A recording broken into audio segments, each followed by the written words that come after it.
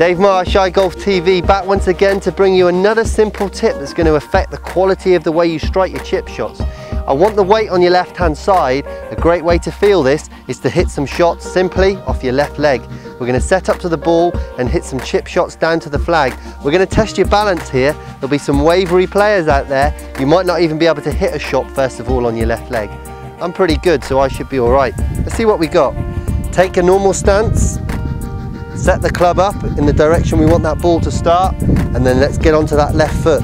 Then from here we make the chipping action. Little bit stabby but got it down there to a few inches. Now if we can stay on this left foot as we put another ball into place. Keep that balance. Obviously now I've got 100% of the weight on my left hand foot. Can you see that? I'm holding my balance there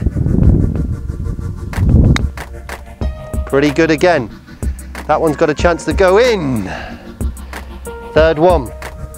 Now all the time I'm staying just on my left hand side here. I'm not even putting my right foot down. Next shot. Ooh. Now in all honesty, it's not that easy for me, even though I've just chipped all of those inside about 10 inches.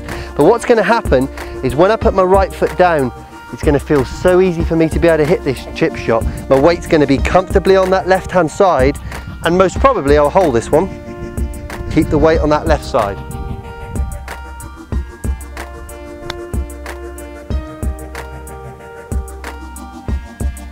Runs it down there dead. So there's a really nice tip for you to just practice the quality of your striking. Very simple, you can do that out on the course or on the chipping green. Now if you've enjoyed today's video, click below to watch yesterday's or come back tomorrow and join me for another video. Peace out.